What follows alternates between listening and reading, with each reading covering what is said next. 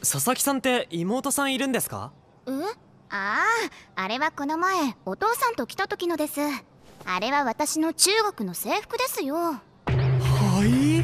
頑張れ頑張れ頑張これが女子中学生ってどういうことだよ？もうだから言ったじゃないですか。私はついこの間まで小さな子供だったって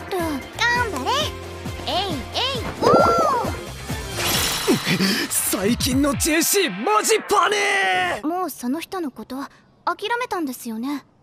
もう諦めた相手のために。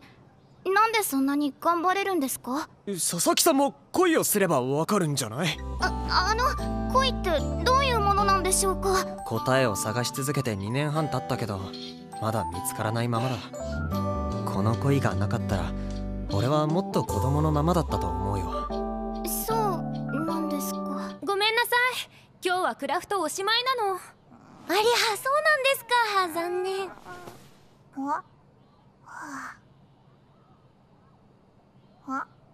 私に門限さえなければ。いやいやお父さん心配するから。私もあ？私も高校生になったら恋するんですかね。タイミング気にするだけ無駄だよ。備えることなんて何もない。恋なんてやつは。うんちゃんと中学生じゃんか。